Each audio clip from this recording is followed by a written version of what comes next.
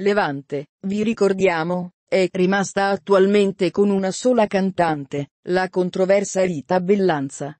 Partita come super favorita, Rita è stata piano piano ridimensionata fino a diventare una delle concorrenti meno apprezzate dal pubblico.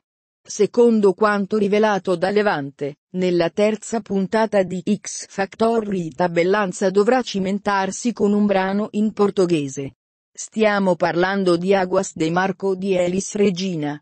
In occasione della stessa puntata del Daily, abbiamo anche scoperto che l'inedito di Rita Bellanza è stato scritto dalla stessa Levante. Non preoccupatevi se non avete a disposizione un abbonamento Sky. Vi informiamo che grazie al servizio Nov potrete vedere X Factor in streaming gratuitamente.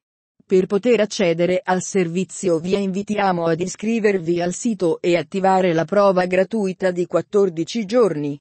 Una volta terminate le due settimane di prova gratuita potrete eventualmente decidere se attivare o meno una delle offerte a pagamento previste. Cliccate qui per maggiori info. Vi ricordiamo ovviamente che X Factor sarà disponibile su dispositivi mobile e laptop per tutti gli utenti che hanno attivato l'offerta Skigo.